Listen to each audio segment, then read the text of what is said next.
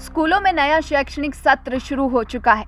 एक तरफ़ private school के अभिभावक अपने बच्चों को नई ड्रेस, स्कूल बैग और नई किताबों के साथ स्कूल भेज रहे हैं। तो दूसरी तरफ़ हज़ारों बच्चे ऐसे भी हैं जो बिना नई किताबों के स्कूल जाने को मजबूर हैं। आलम यह है कि स्कूल खुल गए और बच्चे भी स्कूल जाने लगे, लेकिन सरकारी स्कूलों में किताबें ही नहीं पहुंचाई गई।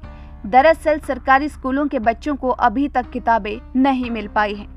इन हालातों में समझा जा सकता है कि सरकारी स्कूलों में बच्चों को पढ़ाना कितना मुश्किल हो रहा होगा। सरकारी स्कूल के शिक्षक भी पुरानी किताबों से ही काम चलाने की बात फ़िलहाल कहते नज़र आए।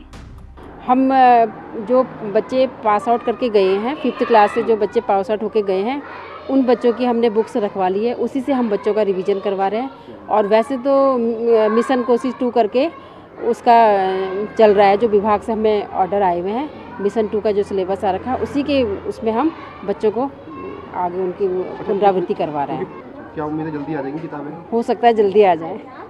हम भी उम्मीद कर रहे हैं कि थोड़ा जल्दी आ जाए बुक्स। अच्छा थोड़ा दिक्कतें होती है कि पुरानी किताबें होती है नई सिलेबस आता है तो नई चीज़ें सिलेबस तो वही है सिलेबस तो कोई चेंज नहीं हुआ है लेकिन पुरानी जो बुक्स हैं उसमें सिलेबस वही है उसी से हम पढ़ा रहे हैं सरकारी स्कूलों में किताबें नहीं है और अव्यवस्थाओं का भी बोलबाला है। शिक्षा विभाग ने अब जाकर इन किताबों के लिए बजट जारी किया है। मामले में सूबे के शिक्षा मंत्री धन सिंह रावत का भी बयान आप सुनिए। इस बार किताबें जो लेट हुई है, उसका कारण यह है कि हमने अपने राज्य में एक नया काम ये किया है कि जितने एडिट स्कूल हैं, उनके चार लाख बच्चों को भी इस बार किताबें निःशुल्क दी जाएँगी।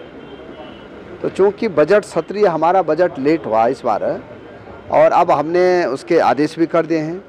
मुझे लगता है कि हफ़्ता दस दिन में सभी स्कूलों में अब किताबें पहुँच जाएँगी। ईटीवी भारत ने देहरादून के कई सरकारी विद्यालय में पहुंचकर स्थितियों को जानने की कोशिश की। इस दौरान कई स्कूल ऐसे मिले जिन्होंने इन कमियों को छुपाने के लिए परमिशन जैसी औपचारिकताओं को सामने रख दिया।